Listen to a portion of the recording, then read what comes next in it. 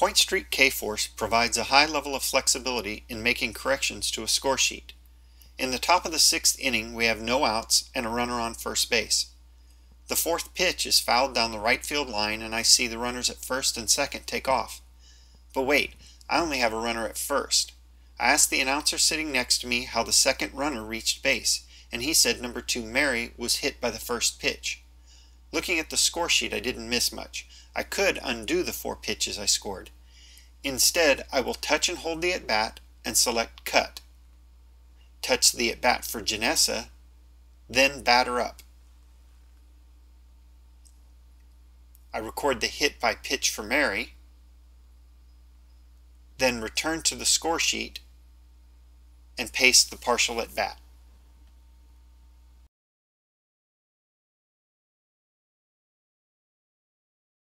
Now I'm ready to return to scoring where I left off.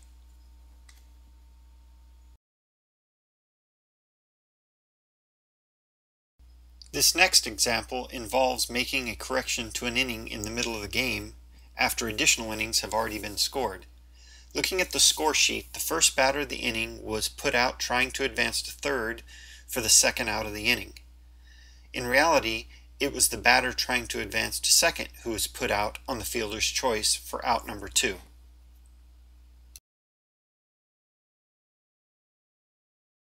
I cut the strikeout We'll paste it back later. And I clear the at bat with the fielder's choice, remembering the pitches and the hit location. Now I need to edit Janessa's at bat and remove the out. I do this by touching the out circle until it's back to its default shade.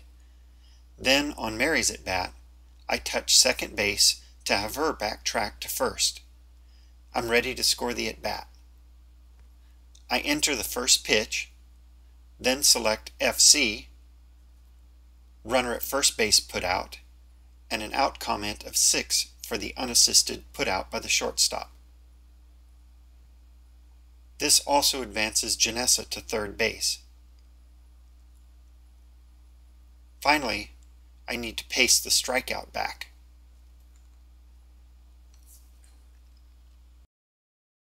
As complicated as this seems, no other scoring system allows you to make post-game edits with this level of flexibility and ease.